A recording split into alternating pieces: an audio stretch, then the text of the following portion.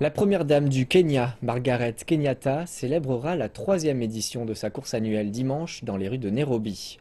Des milliers de personnes sont attendues lors de l'événement. Reportage. Même si la première dame du Kenya, Margaret Kenyatta, est âgée de 51 ans, elle ne les fait pas du tout. Le régime d'entraînement intensif qu'elle poursuit lui assure une aptitude physique qui précède son âge. Cela fait trois ans qu'elle s'entraîne et concourt à son demi-marathon de la première dame du Kenya afin de recueillir des fonds pour les membres les moins privilégiés de la société.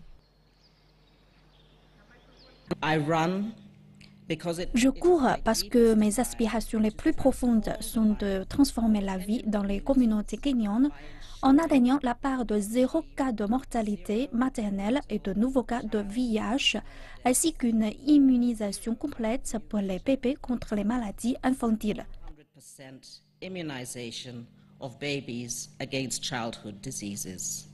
L'argent provenant des différents dons dans le cadre de la campagne Beyond Zero sera utilisé pour mettre à la disposition des diverses communautés au Kenya des cliniques mobiles.